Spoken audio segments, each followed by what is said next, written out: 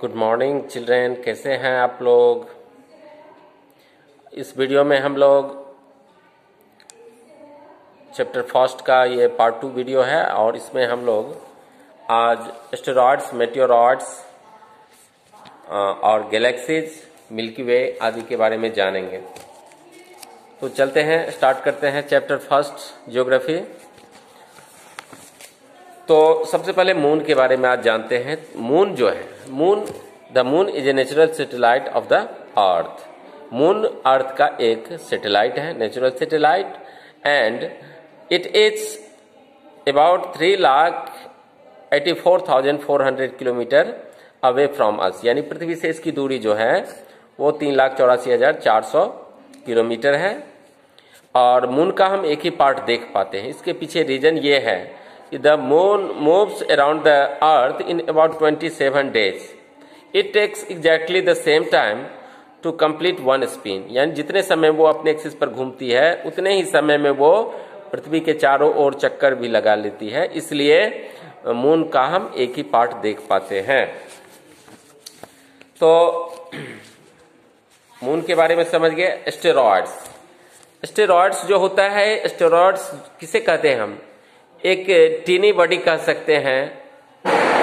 जैसे स्टार है planet satellites है तो apart from the stars planet and satellites there are numerous tiny bodies which also move around the sun इसी को कहते हैं हम एस्टेरॉइड्स अब एस्टेरॉइड्स कहाँ पाया जाता है?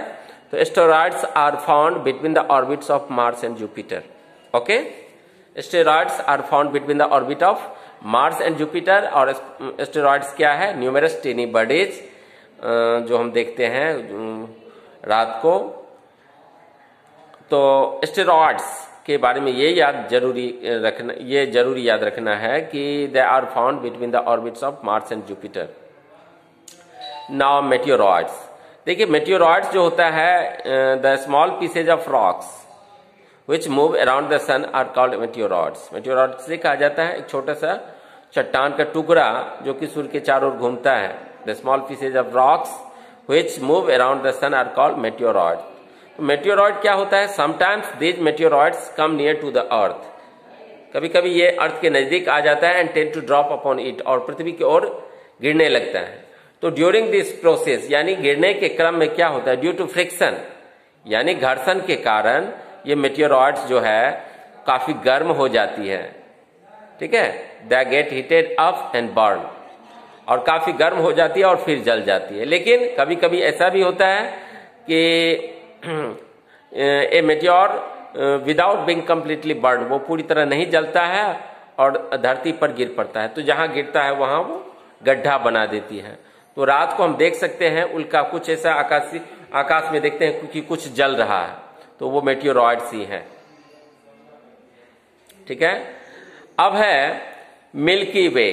मिल्की वे के बारे में हम जान, जानेंगे हम लोग। मिल्की वे इसको हिंदी में कहते हैं दुग्ध मेखला। तो रात में आप आकाश में देखते होंगे एक व्हाइटिस ब्रॉड बैंड पूरे उजला लाइनिंग रहता है। Like a white glowing path across the sky on a clear starry night पूरे मतलब रात को हम जब देखते हैं व्हाइटिस ब्रॉडबैंड उसको हम कहते हैं मिल्की वे हमारा सोलर सिस्टम भी उसी का पार्ट है. Our solar system is a part of this galaxy इसी गैलेक्सी का पार्ट है हमारा solar system in ancient India यानी प्राचीन काल में, प्राचीन भारत में it was imagine to be a river of light इसको कहा जाता था रिवर ऑफ़ लाइट प्रकाश पुंज, यानी Akash Ganga flowing in the sky it was named Akash Ganga इसी को आकाश गंगा प्राचीन काल में कहा जाता था।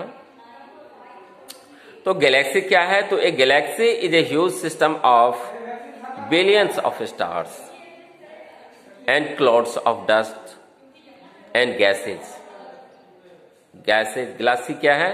A galaxy is a huge system of billions of stars and clouds of dust and gases तो इस तरह से there are millions of such galaxies ऐसे दस लाख, बीस लाख गैलेक्सी होंगे यूनिवर्स में।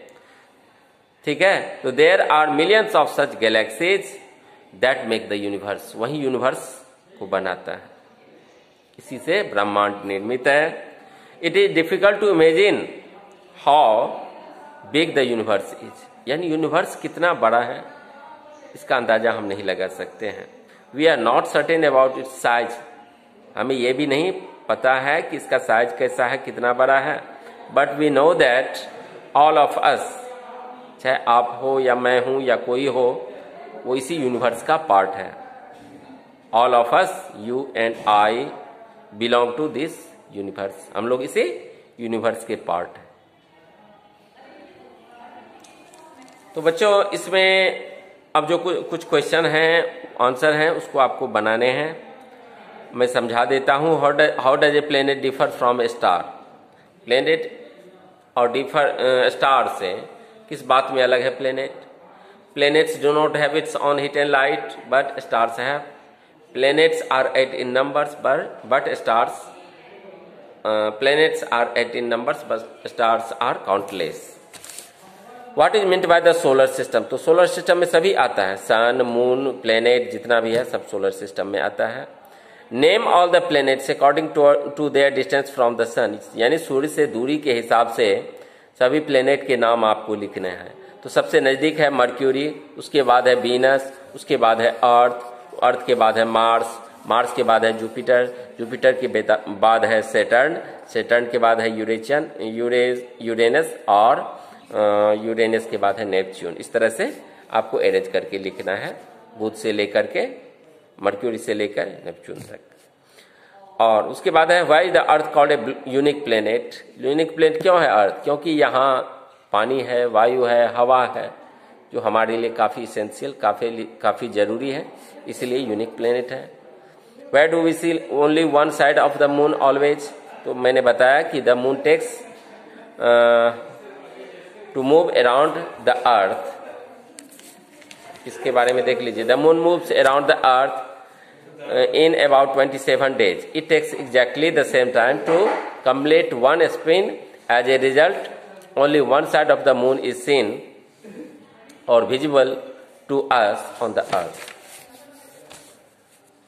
चलिए why do what is the universe universe किससे बना है? यूनिवर्स बना है गैलेक्सी से। There are millions of such galaxies that make the universe तो यूनिवर्स किससे बना है? तो गैलेक्सी से बना है। कुछ ऑब्जेक्टिव है, वो मैं समझा देता हूँ। Take the correct answer the planet Jupiter the planet known as earth twin earth twin किस प्लेनेट को कहा जाता है? तो वेनस को कहा जाता है। Which is the third nearest planet to the sun तो earth earth is the third nearest planet to the sun all the planets move around the sun in an circular path rectangular path elongated path इसमें elongated path होगा।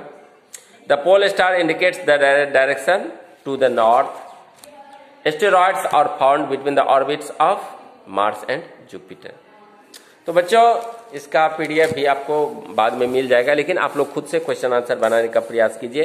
Chapter को एक बार और पढ़ लीजिएगा। ठीक है? बाकी यदि कोई प्रॉब्लम हो तो वो ऑनलाइन क्लास में आप पूछ सकते हैं। आज के इस वीडियो में इतना ही। Thank you